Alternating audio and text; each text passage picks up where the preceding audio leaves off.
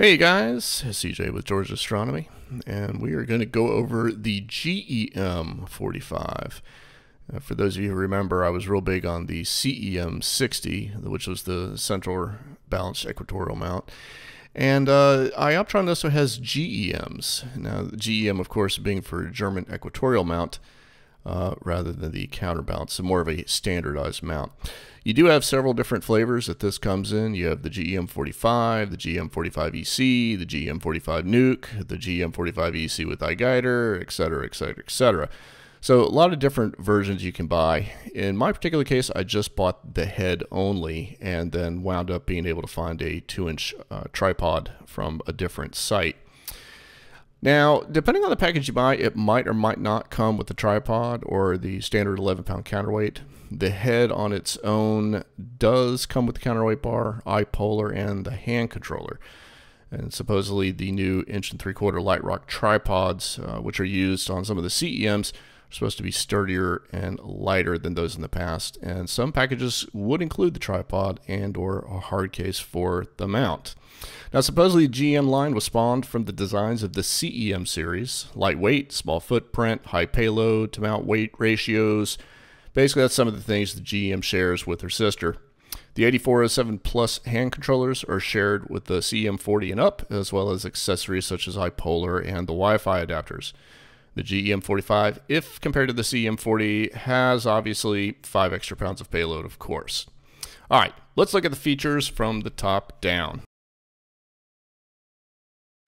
The saddle does take both Vixen and Losmandy style dovetails, but due to the design, it's either one or the other. While I think it's pretty innovative, I would prefer to see dual mounting without that mechanical changeover.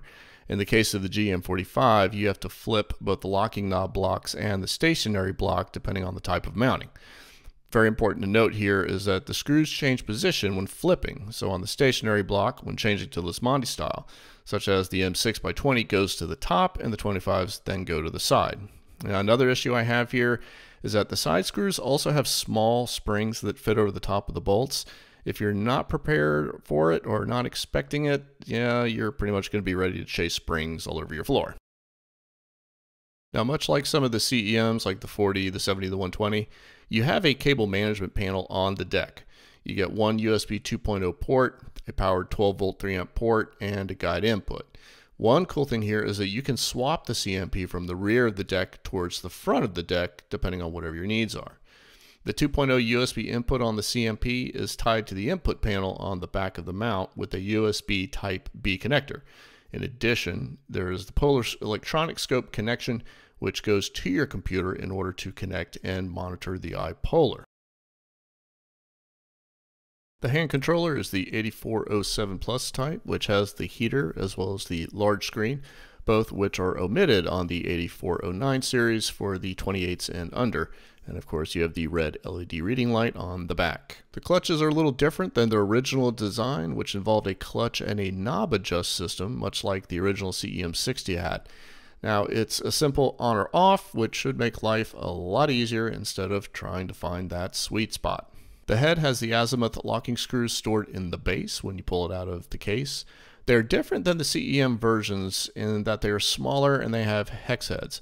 In fact, all the adjustments have hex head locking screws, but the mount does have a hex wrench as standard that lives in its own little place at the base. Of course, like most mounts, you also have the latitude marking system on the side. On the side is the 12 volt input for the mount, which also delivers the 12 volt to the deck. You have the on off switch and the HBX input, which is for the hand controller, of course. On the opposite side, you have the iPort for connecting the GPS module and any other Ioptron devices. You also have a USB 2.0 port for the computer to connect in order to have mount control. All right, let's do the list. Things I like. Love the color combination. Ioptron, I think you swung a good hit home run with this. Black and red is pretty snazzy, matches my ZWO and my Radian Raptor, so it looks pretty good. Eh, granted, the reds are not exactly the same. Love the dual saddle system. Low weight, of course, is always good on the back. High payload compared to the size is awesome. The 8407 Plus Go2Nova hand controller, the integrated iPolar, the limited yet immovable cable management panel is a nice thing. And of course, the fact that the locks are off and on, they have omitted those pesky little knob adjustments. And of course, the gripes. Well, let's talk about the GPS is separate and it's not integrated into the unit. You only get one USB and one power on the deck. Uh, would like to have seen a few more of those. The knobs and the bolts are only big in Smurfette's hands, man. And then, you know what? The deck is innovative, uh, but it isn't for fast changes. It kind of sucks that you have to dismantle it in order to put it back together, which just leads to more things getting lost. And then finally, people, it is 2021. We've put a helicopter on another planet, for flip's sakes. Come on now. 3.0. Everything should be 3.0.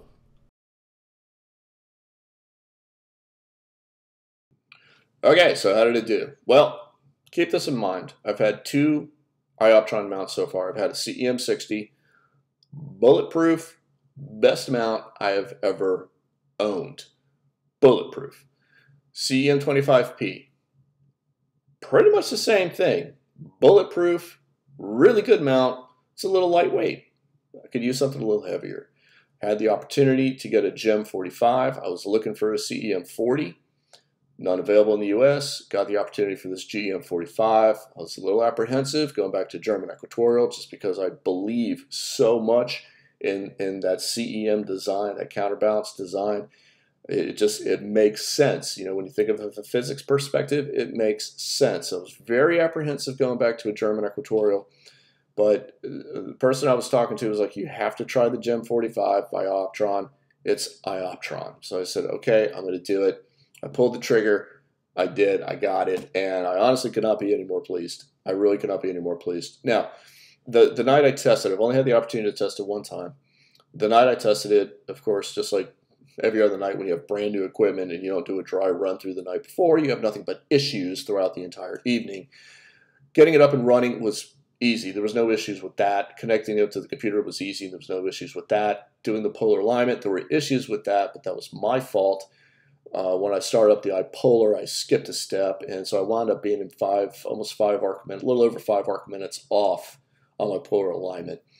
Uh, again, that's me. And actually, five arc minutes is probably not all that uh, bad, all things considered. I like to be a minute and under, uh, but I didn't get it that night. And I had a very small sucker hole in order to get some imaging done, and I didn't want to waste a whole bunch of time. I already started late anyway.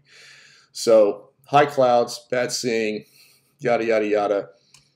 Um, polar alignment error was off, but I did run the guiding assistant and of course, oh, 5.2 arc minutes, excuse me, 5.2 arc minutes, ran at 689 seconds uh, for it, let everything bounce down to where it was. And the result of the guiding assistant was number one, I've never had a graph quite this good. Uh, I've gotten close, but I've never had a backlash graph that good, and that's from the GEM 45. Interesting things here. So it always recommends 1.5 to 3.5 seconds, and for that evening I was doing 2 seconds again because of clouds. Polar alignment obviously was wrong. Uh, my Minmos were dead on. Those are actually very accurate. The 0.16 and 0.25 were dead on. No backlash. But here's interesting. It recommended to me low pass 2 on Dec guiding, which I've never had that before. I usually use hysteresis or stop switch. So for it going to low pass 2, I got to read up about that because I'm not sure what that meant uh, or why I used it. But I said, all right, hey, you said use it, I'm using it. And I did. I used it and it worked really, really well. So, I mean, all things considered, and here's a fuzzy graph to show you. All things considered, you can see the the corrections that are going on here, and we're not doing a lot of seesawing back and forth. You know, we're not we don't have a waveform kind of going on. It's it's there's some corrections. There's there's not a lot of over aggression. Again, this is just I left it as is stock, and there's not a lot of over aggressions on it. Uh, which I think the RA aggression is set at 70, and my Dec is set at 90, which is kind of standard what I always run with. Went with the minimum settings. It performed really well, and again, seeing was absolute crap, but it performed really, really well. And uh, in fact, if you, you see the only big Dec uh, declination movement we have here was for a dither. So yeah, it performed really well. Now I didn't get. I shot a total of 45 frames before the clouds came in, and I mean it just got it just got stupid. You can see the you know there's shooting through clouds around clouds. It was ridiculous. So I think out of what was it 44 shots, I could only keep 24 of them. Um, but the 24 that I kept uh, were all very, very good shots. And of course, that has a lot to do with the mount. I mean, optics are only going to do you so good, but if the mount doesn't keep you centered uh, along with the guiding, it isn't going to work very well. But good round stars, good clear, good clarity for the limited amount of uh, subs that I got there. But that's another way you can tell too. If if you have a lot of fine detail and it's it's you know wavy or you know it looks like it's blurry, it's because you're moving, uh, and it's not moving here. So I can't wait to get back on the iris and get some more limit, luminance data on it. It's just I got to get some clear weather. Right now, there's no clear weather going on in the state of Georgia. So overall, I I think it I think it did very, very well. I think it did extremely well for the conditions that I was in. And I will go back and do unguided testing, and then I will then post those results for you so you can see that in case you're doing visual or if you're doing lucky imaging or planetary or anything like that. So, what else? Uh, that's pretty much it. Sorry, it's been a while since I got a video uploaded. I hope everybody's doing quite well and everyone's being COVID free. Thanks for watching.